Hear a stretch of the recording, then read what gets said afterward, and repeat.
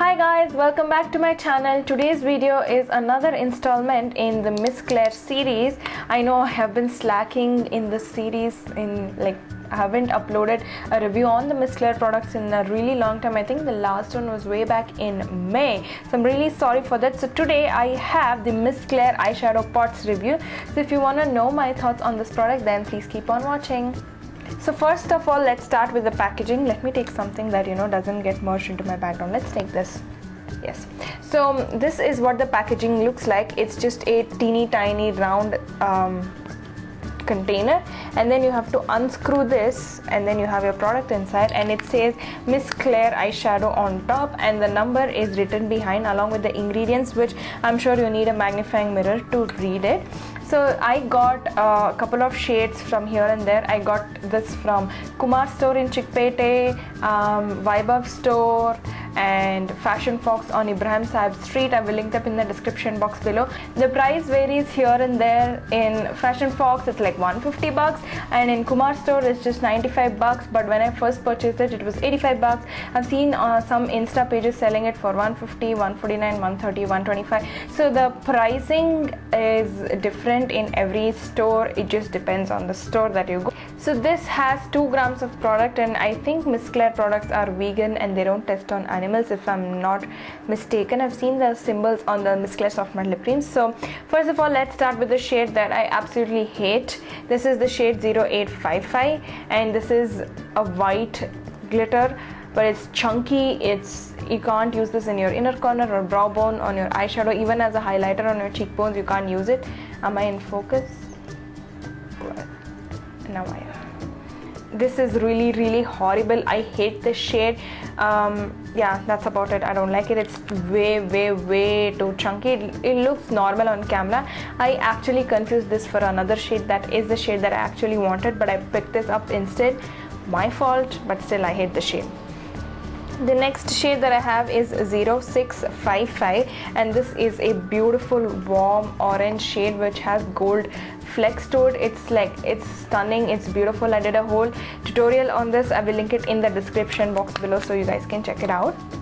And the next shade that I have is 0751 this is a moss green shade this is beautiful. If you have brown eyes use green eyeshadow or anything green and it'll just make your brown eyes pop. I did um, my full face of makeup using products under 100 in that i used this eyeshadow and it looked so stunning. I still am planning to do a tutorial with this. So if you are interested let me know and the next shade that I have is uh, 0888 and this is a black which has silver specks in it. But those silver specks are so sparsely distributed that they don't like show up like silver specks. They're like here they're here and there but they're not really visible. So you could use this as a matte black. I have and it, it works beautifully. I actually used this in my um, navy blue something makeup tutorial i will link it in the description box below. It works very well if you want to deepen up your outer V or your crease or something.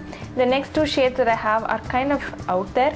Uh, this is the shade 0507 and this is a matte red shade.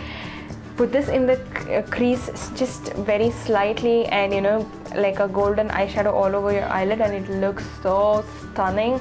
It's just so beautiful. This is a matte shade. Gorgeous the last shade that I have is 0502 which is a beautiful magenta like like a cranberry shade but not really. It's it's so gorgeous. It's stunning. I haven't actually used this yet but I've swatched it with brush on my hand like I've done brush swatches and it swatches beautifully. I actually have an idea like a fall look to do with these two eyeshadows like a red and a berry shadow. So if you are interested do let me know. Now coming to the longevity I have worn them without eye primer. I've worn this black eyeshadow without eye primer for a good 8 to 10 hours and it did not budge. At the end of the day I had to scrub it and remove it. It does last for a really really long amount of time. Uh, they do have have slight kick off. They are soft they're buttery they're creamy. They do have slight kick off but uh, that doesn't really bother me because the price this is so inexpensive. I'm definitely going to buy more shades. These look beautiful. They swatch well. They play very well on your eyes. You don't you with an eye primer it'll look better. But even without an eye primer you could get away with like five to six hours of wear. With an eye primer i think it lasts for a really really really long amount of time so i don't really have any cons to say. My only con is probably the pricing depends upon the place that you go to but otherwise i love these eyeshadows so much these single eyeshadows and for the price oh my god i just pulled my hair. So i hope you guys enjoyed this video and you found this review useful. If you did then please give this video a thumbs up and let me know your thoughts in the comments down below. I have all my social media links in the description box below if you want to make if you want to follow me then you can definitely check it out please like share comment subscribe and all the jazz and i shall see you in my next one till then bye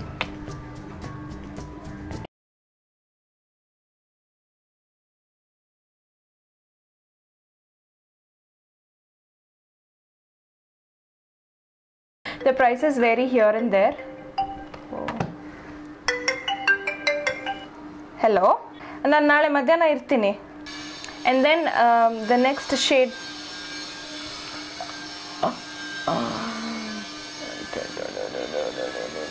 Oh, come on.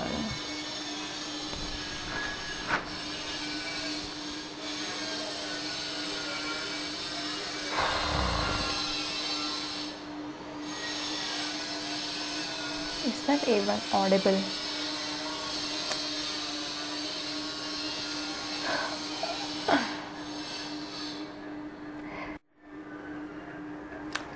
I just realized I spoke everything that I wanted about the shadows and I realized I am not recording. Damn it! Damn it. But they're soft, they're powdery. No. My CPU is coming tomorrow. Okay. Where was I? So the price varies